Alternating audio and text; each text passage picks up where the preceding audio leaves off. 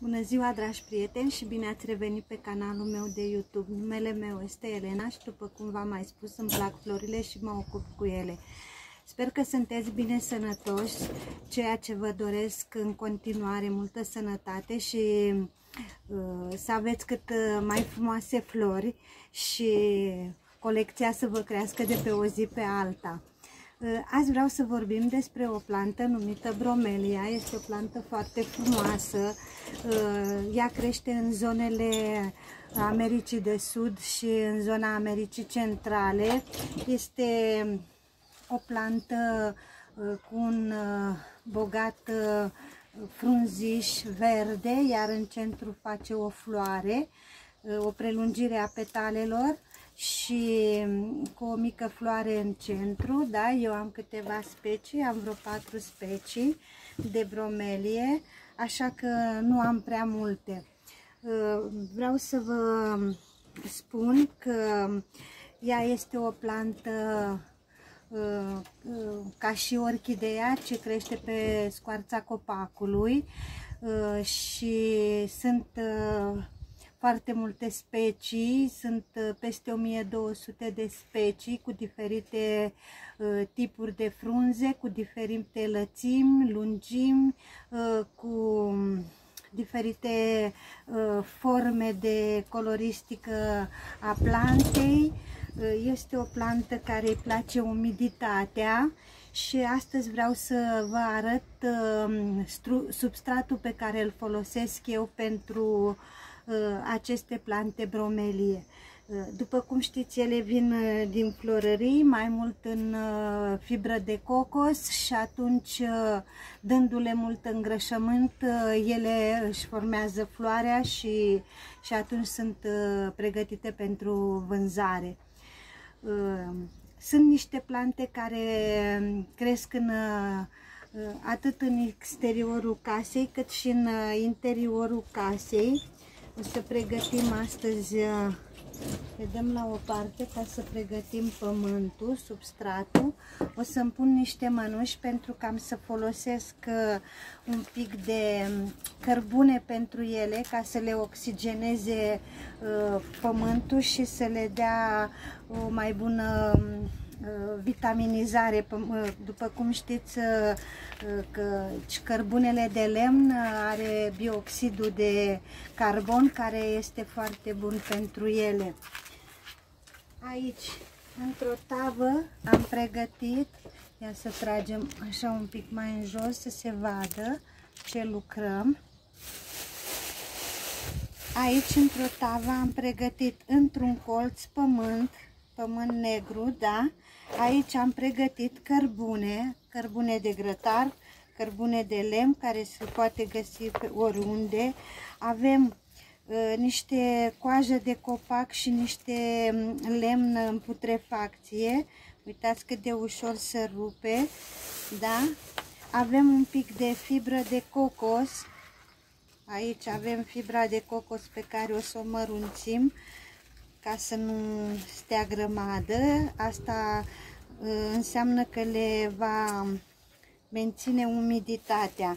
Aici avem niște coși de uh, la migdale, uitați, niște coși de migdale care le-am spart, le-am mărunțit pentru ca să îmbogățesc uh, pământul. Aici avem niște uh, coși de la, uh, cum le zice la astea, niște, ai, nu știu cum le zice. Așa, iar aici avem coși de, uh, de fistic și de alune, da? Acesta va fi substratul nostru pe care îl vom amesteca foarte bine. Acesta uh, ne va da o creștere mai bună, va, se va simți ca în mediul său uh, natural, uh, îi va plăcea să sperăm. Bromelia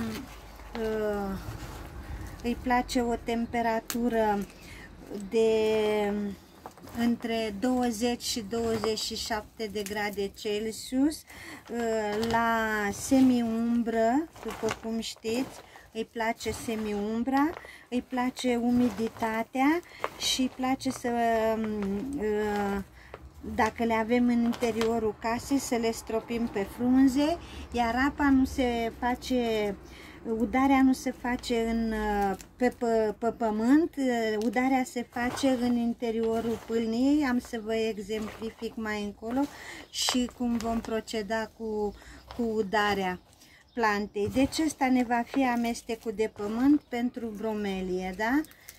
Este foarte ușor de realizat, este foarte ușor de obținut. Uh, puneți coș de nucă dacă aveți, uh, dacă nu aveți de alune sau de migdale sau de...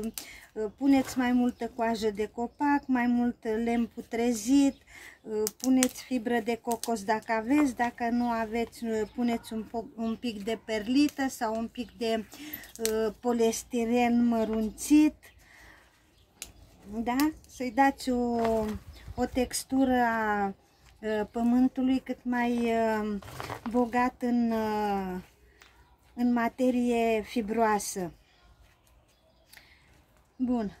Ca și vase, ca și vase o să folosim aceste vase de lut pentru că le menține mai mult umiditatea. În ele se vor simți ca și în afară. Uh, dacă vreți să fiți un pic mai uh, decorativ, puteți să folosiți uh, tot felul de um, lădițe suspendate sau tot felul de um, vase perforate. Eu am văzut în mai multe moduri, eu nu am și am să folosesc aceste ghivece de lut pentru a le, um, a le pune în ele. Da? O să începem cu această bromelie. Este o bromelie foarte frumoasă, ia uitați-o. A fost înflorită, a fost cred că foarte chinuită și mi-a dat-o cineva pentru că nu, nu, nu mai o voia. Și zice, dacă vrei tu să o iei, să o resuscitezi sau ce poți să-i faci. Dacă observați, îi dă și un mic pui aici, așa. Deci ea a fost înflorită și a făcut ciclul ei și acum va crește puiul. Bromelia este o plantă care înflorește prin extensia frunzelor interioare da? și ă, după cum v-am mai spus, după ce se udă în centru plantei, iar după ce înflorește planta și se trece floarea, ă, ca și mamă, moare și rămân pui. După moartea mamei puteți, uh, uh, când ajung puii la o anumită maturitate, îi îndepărtați și formați uh, alte plante care, bineînțeles, vor trebui și ele un pic hidratate cu îngrășământ special pentru plante exotice, da? de exemplu cum ar fi îngrășământ pentru plante de cactus sau um, pro, procurați uh, alte fel de îngrășământ. Aceasta arată bromelia noastră. Ia uitați-o cât de frumoasă. Are o purpurină albă pe ea, argintie. Săraca e puțin cam chinuită, dar o să-și revină, să sperăm. Aici avem cea de-a doua bromelie pe care vreau să o transfer. Uitați, a venit așa uh, din... Uh, am să pun pământul aici. Jos. Ca să o scoateți mai ușor, apăsați puțin pe ghiveciul de plastic până simțiți că se eliberează. Ea de acum săraca ieșeau și rădăcinile pe din afară, deci simțea nevoia să fie transferată. Această bromelie nu știu cât va rezista înflorită pentru că văd că începe să-i dea pui. E semn că va mai dura 2-3 luni. Dați câte rădăcini are și este pusă doar în fibră de cocos și puțin pământ, după cum observăm puțin pământ, cred că e turbă, că se văd niște frunze uscate, da? O să o eliberăm un pic așa, să, să o slăbim, ca să putem să o transplantăm în, în ghiveciul nostru. Uitați, îi dă și un puișor aici. De obicei ea de 2 pui, de moment are doar unul. Dacă le țineți în interiorul casei, să nu le țineți la uh, lumina foarte puternică uh, de afară, ferite un pic de soare ca și orchideile și uh, să fie un ambient umed. Dacă nu este ambientul umed, le puteți pune de desubt într-un platou cu Uh, puțin piatră și apă sau doar apă pentru a-i crea umiditatea necesară. Îi place foarte mult uh, umiditatea. Uh, dacă le ținem afară, la fel le place să fie într-un mediu mai umed, ferit de soarele puternic, altfel se ard frunzele și atunci va arăta și urât și nu se va mai putea dezvolta prea bine.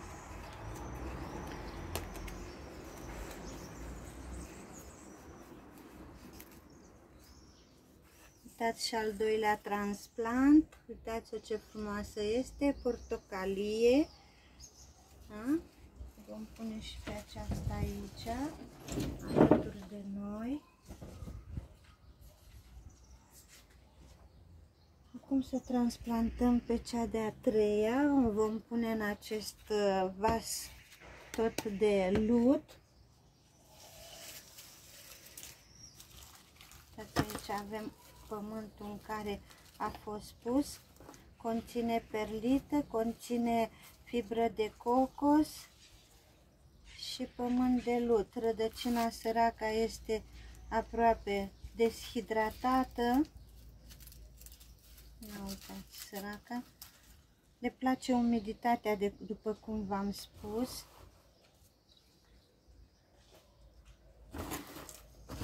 Ce să vă mai pot spune despre ele? Uh,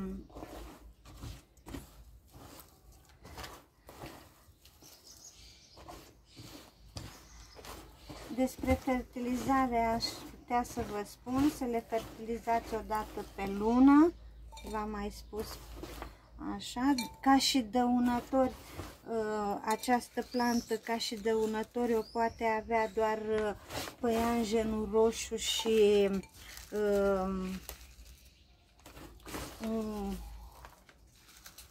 o microbacterie care se așează pe interiorul frunzelor și dă o notă de, de mucegai. Aceea este o plagă pe care o îi dăunează creșterea și dezvoltarea. Ia uitați-o și pe aceasta cât de frumoasă este. Ce bine arată. Vom pune și pe ea aici, alături de suratele ei. Iar cea de-a patra plantă este un, sunt cei doi pui, a fost o culoare lila, au rămas cei doi pui pentru că mama ă, plantă a murit din cauza ă, că a fost înflorită, s-a dezvoltat, puii au crescut destul de mari, uitați, aceasta vine de la florărie, are un pământ despre cum vă vorbeam, cu bucățele de lemne, de coajă de copac, de fibră de cocos, da? bucățele, uitați și bucățele de cărbune are, o să o slăbim un pic, o să o curățăm de, de ce, din centru de planta mamă care a avut-o, o să mai curățăm, să nu o rănim, dar totuși să nu îi rămân aici așa să facă să prindă vreo bacterie sau să prindă vreo Acest foarfec în prealabil a fost desinfectat. Rădăcina este foarte bună, sănătoasă, ia uitați. Arată foarte bine planta. Acum o să o punem pe asta aici așa. Și așteptăm să înflorească. E cam mic veciul acesta. O să încerc să-l pun în altul mai mare.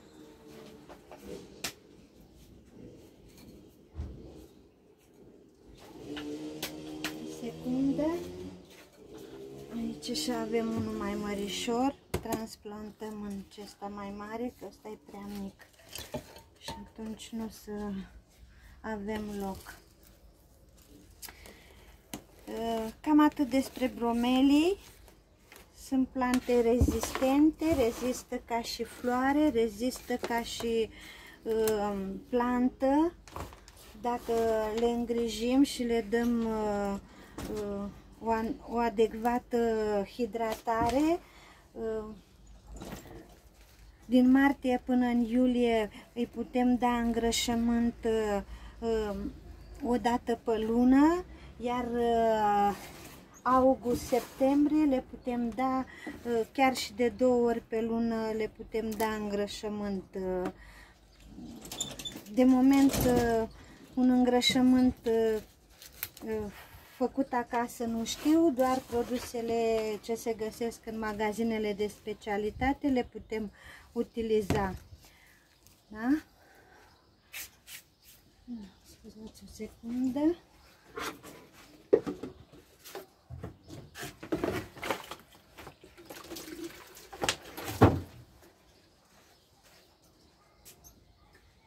Bun, ca și udare vă vorbeam că se udă planta în interiorul pâlniei, în interiorul plantei și atunci ea își trage singură cât are nevoie. Acesta este procedura de udare a acestei plante. Să vă arăt și o plantă mai mare. Ia uitați, am să-i pun în centru. Aici am să ud. În centru plantei. Iar ea absorbe apă cât are nevoie iar surplusul de apă va cădea în farfuriuță sau în platou în care va fi așezată. Bun. Eu cam atât am avut să vă povestesc despre cum uh, procedez eu cu bromeliile mele. Este o experiență pe care am folosit-o și o voi folosi în continuare pentru că acești doi pui pe care vi-am arătat am avut planta mamă și uh, am, uh, o am de vreo 3 ani de zile, așa că mi-a tot uh, regenerat uh, flori și plante. E o plantă care crește foarte lent. Uh, Vă mulțumesc pentru vizionare, aștept uh, întrebări și sugestii, uh, păreri și opinii. Uh, nu înainte de a ne despărți, vă doresc uh, să vă înscrieți pe canalul meu de YouTube, să-mi dați like, să-mi lăsați comentarii. O zi bună! Ne vedem pe data viitoare, dați-mi idei și sugestii despre ce vreți să vorbim. La revedere!